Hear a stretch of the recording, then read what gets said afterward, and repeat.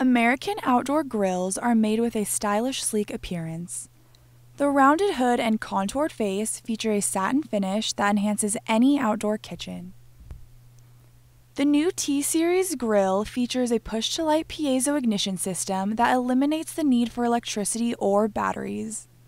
This results in a self sufficient grill with a clean looking front panel.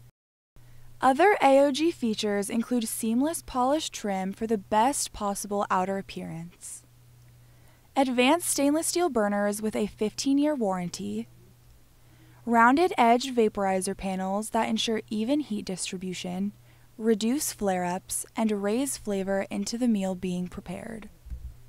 Stainless steel cooking grids that will perform wonderfully and stay reliable for years to come.